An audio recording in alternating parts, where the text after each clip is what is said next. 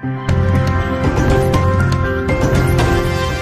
देख रहे हैं के एस एन ट्वेंटी फोर पल पल की खबर।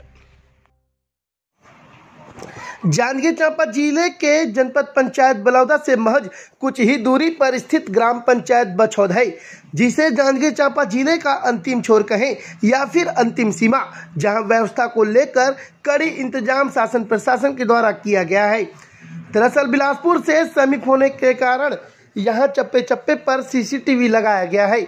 जो कि सीमा को सुरक्षा प्रदान करने में अहम भूमिका निभा रहे हैं।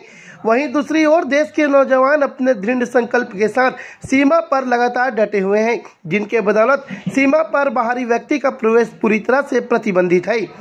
उन नौजवानों के कड़ी मेहनत के बदौलत ही आज जिला पूरी तरह से सुरक्षित है।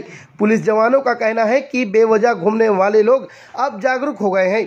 पहले की अपेक्षा अब सड़कों पर लोग कम घूम रहे हैं।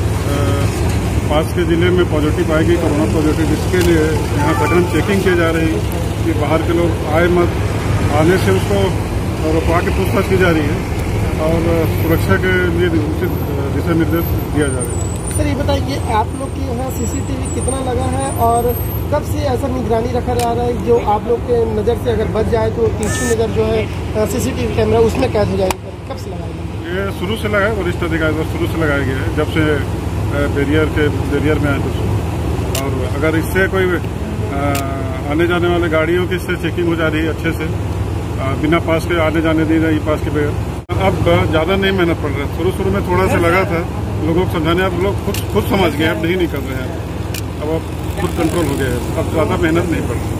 सर आप हमारे चैनल के माध्यम से लोगों को क्या संदेश देना चाहते हैं खासकर कोरोना वायरस को लेकर सावधानी बरते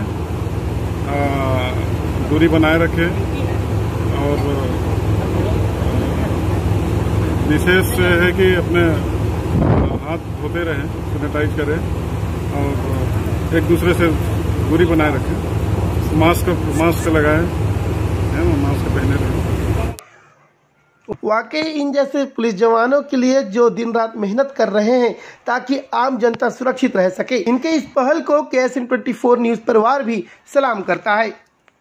K S N twenty four news के लिए जांजगीर से रामनगर जी की रिपोर्ट।